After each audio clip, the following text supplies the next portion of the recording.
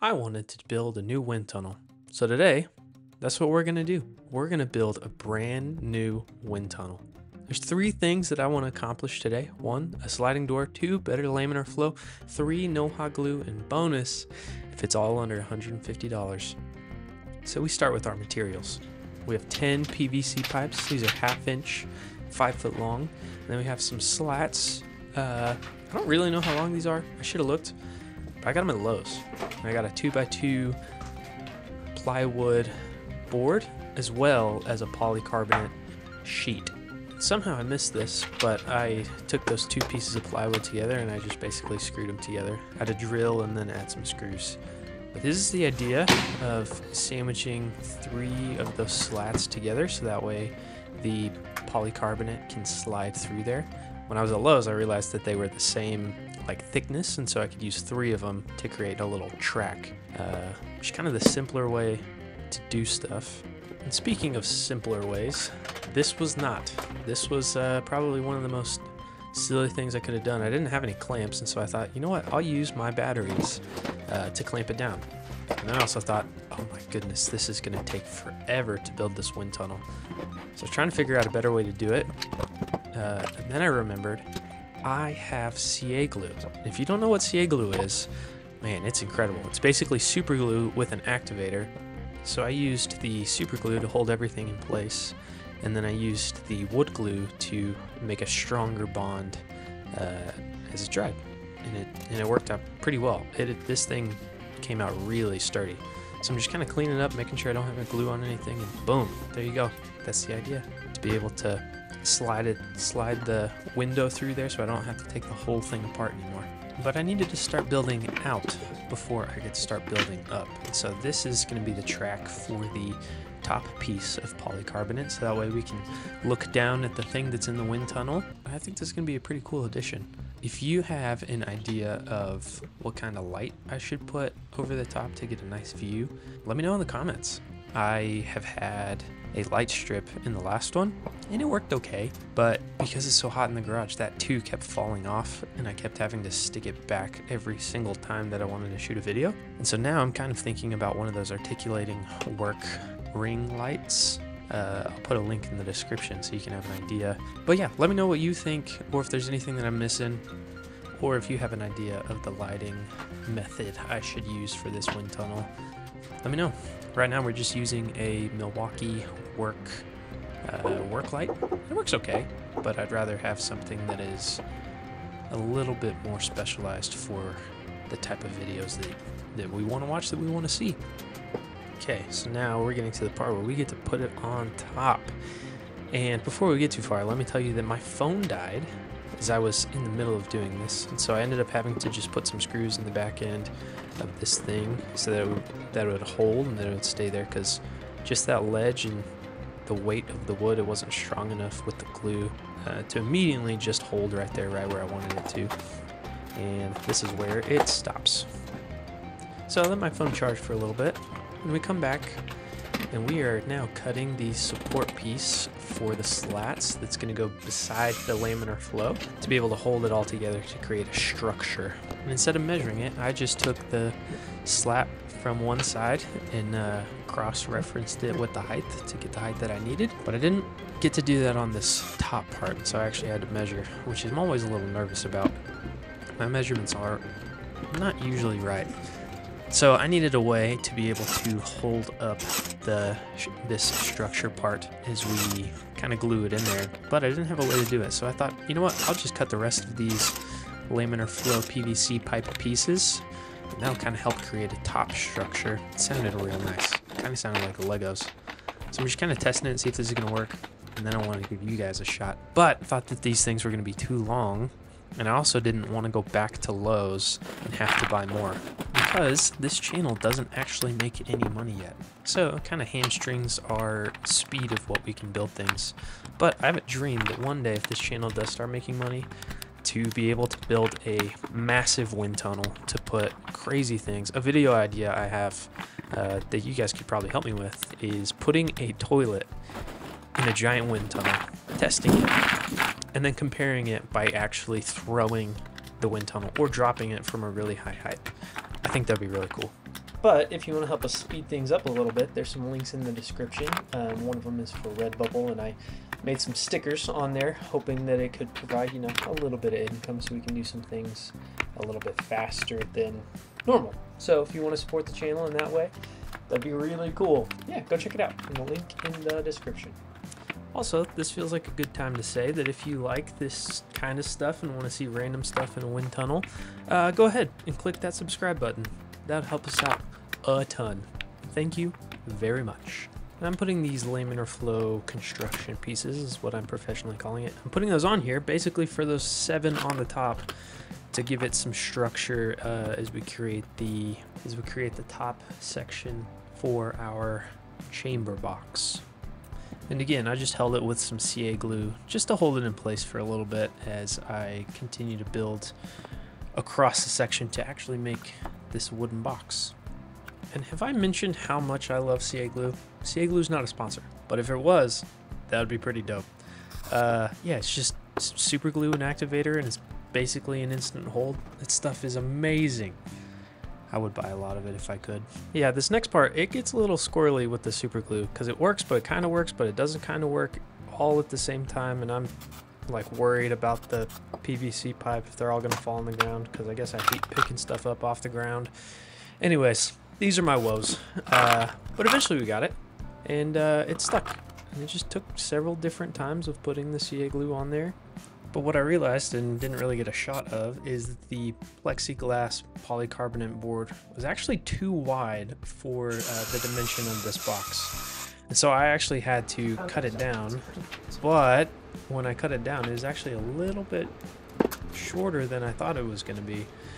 And so I had to create, you know, a little face frame to be able to hold it all in together, really just so that the wind wouldn't uh, wouldn't whip around in there and mess up our, our laminar flow, uh, the way that we keep the air going uh, parallel and uh, nice and neat. So, so after we cleaned this up, uh, we started building on the top uh, to get the top polycarbonate plexiglass thing. I actually don't know which one it is. Um, but yeah, we're just working on that one now, and this added a lot of rigidity once I added the cross beams and stuff. Because right now it's still kind of flimsy, just held by the CA glue. Uh, but once we get those cross members on there, it gets really sturdy. So I'm just cutting them down, cutting them down in the size, just matching it.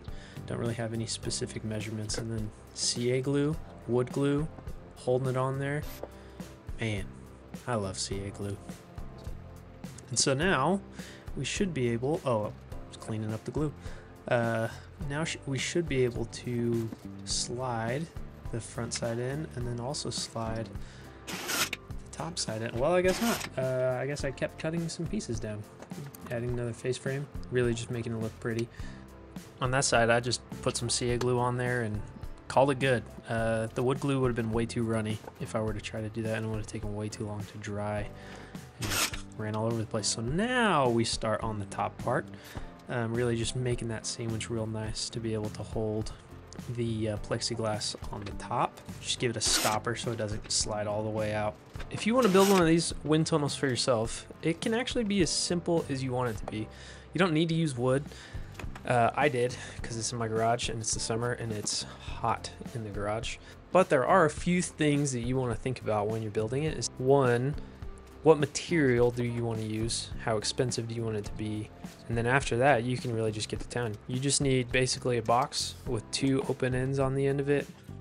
One side has straws or PVC pipe or boba straws to provide some laminar flow. And on the other side, I just use a variable speed computer fan that I can put a link to in the description. But honestly, you can you can use whatever kind of fan that you think.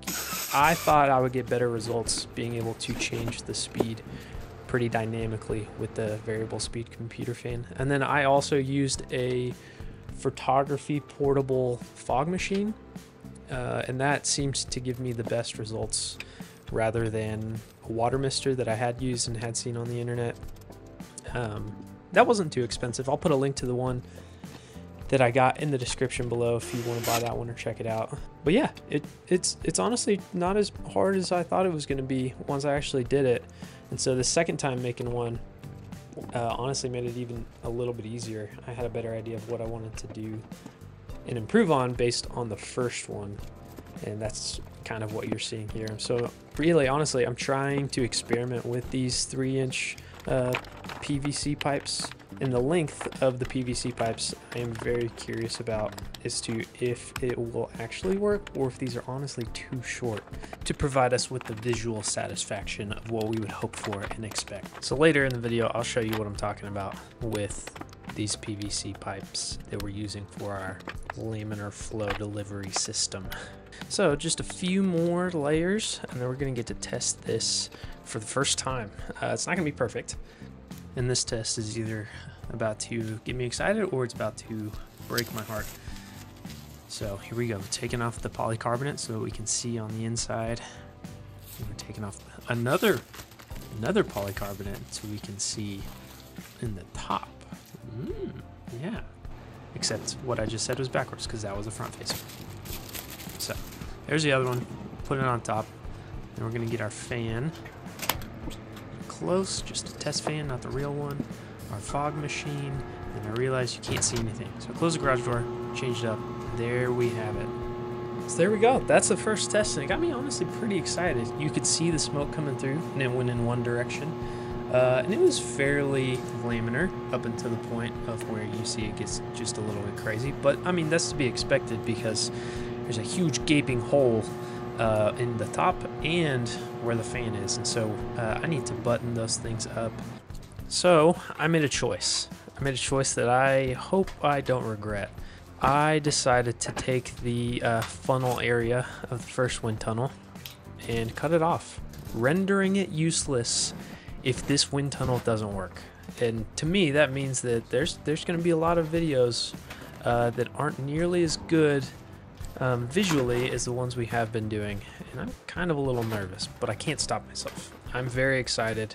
So I decide to bite the bullet and just start taking it apart because I want to see what this thing will look like uh, and see if it will give us some really cool visuals. But if I'm being honest, I wanted to finish this project. I wanted to see Wind Tunnel completed and I ran out of money, so I couldn't go buy anything else. So I had to get creative with what I was already provided with. And that was this first wind tunnel that I am just aggressively ripping apart because it was hot glued. And for some reason, that hot glue decided not to melt. Um, it's the only places that it decided to not melt in the first wind tunnel. Everywhere else, it was already falling apart.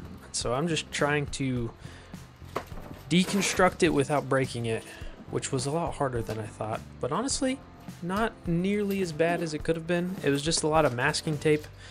But because it was connected to the foam core board that is made of paper, some of the spots decided to uh, delaminate from the pieces of paper or from the foam core board. So as I'm just deconstructing it, I have a horrible realization that I'm going to have to do. I don't have strong enough tape to be able to attach all of these pieces to there to hold it on for a while. So, I, I, I break out the hot glue gun. And it hurt me. It hurt me to do so. But, I mean, this isn't going to last forever, so I figured that this temporary fix would be fine. Uh, now, if it starts falling apart, like, I'll just, I guess, have to hot glue it until it either cools down or or there's an opportunity for me to just build a better thing with probably more CA glue and wood glue um, but that'll have to happen in the future. But would you want a part two of this? Did you want to see me continue to finish this up? There's a few things that I know I want to do to it, like painting the inside black, so that way we can have the contrast of the smoke and whatever's in the wind tunnel with uh, a darker background.